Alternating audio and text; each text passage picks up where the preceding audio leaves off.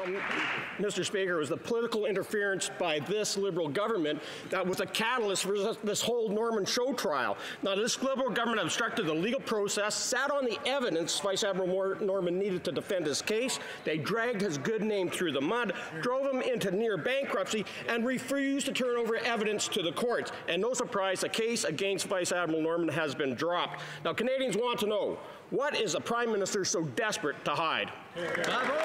Honourable Minister of Justice.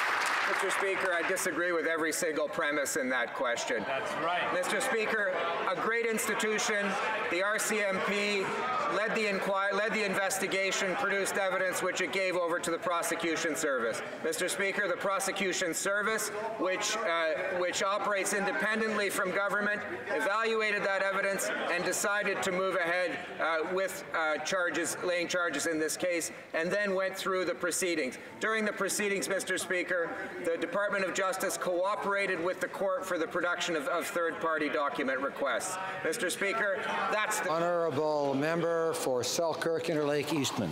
Well, the minister should actually listen to the press release by Marie Henein today. And Norman's defense actually said that they waited for six months since they made the request for documents and still haven't showed up. Right now, the Prime Minister, Kelsey, stomped all over the Admiral who served this country with distinction. The Prime Minister maliciously accused Mark Norman of a crime he never committed, then blocked him from getting any legal assistance. The Prime Minister dragged his feet, disclosing evidence for the case, and sent completely blacked out documents.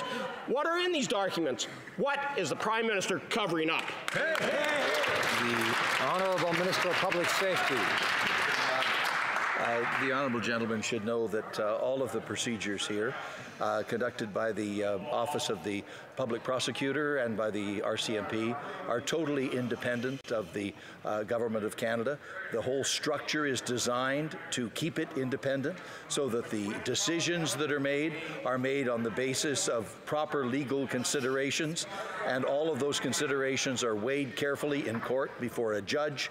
The matter was entirely without political influence, and that's what the prosecutor said today. Order. The